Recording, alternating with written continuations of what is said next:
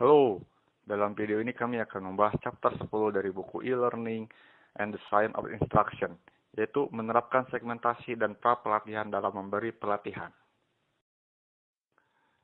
Dalam memberi pelatihan, terutama jika yang dilatih itu sama sekali baru mengenal materi pelatihan, tentu akan sulit bagi mereka untuk menerima materi pelatihan yang ada. Terutama jika itu berurusan dengan hal-hal teknis yang dijelaskan dengan rinci yang akan memakan waktu lama dan akan berakhir seperti ini. Untuk menghindari pelatih yang menjadi pengantar tidur bagi peserta yang dilatihnya, maka diperlukan tahap-tahap dalam pelatihan yang dijelaskan bisa dalam bentuk video agar peserta bisa mengikuti materi pelatihan.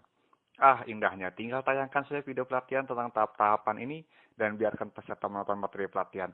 Cuma sayangnya video materi pelatihan berbeda dengan video film kartun animasi yang menarik, karena video pelatihan membutuhkan waktu berpikir bagi peserta, dan jika dibiarkan terus-menerus peserta akan stres.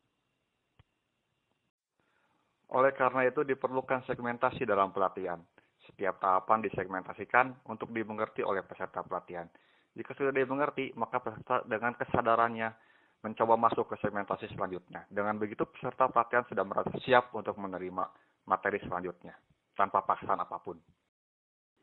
Cara lain adalah dengan melakukan pra-pelatihan. Cara ini mirip dengan segmentasi, hanya saja pada pra-pelatihan dijelaskan terlebih dahulu poin-poin penting yang harus diingat untuk masuk ke sesi pelatihan selanjutnya.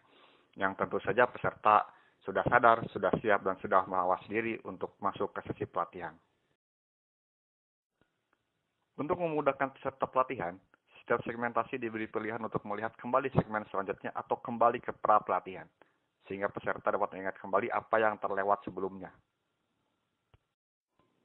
Baiklah, Sekian video presentasi kami yang didasarkan pada bab 10 buku e-learning and the science of instruction. Semoga dapat dimengerti. Terima kasih. Sampai jumpa kembali.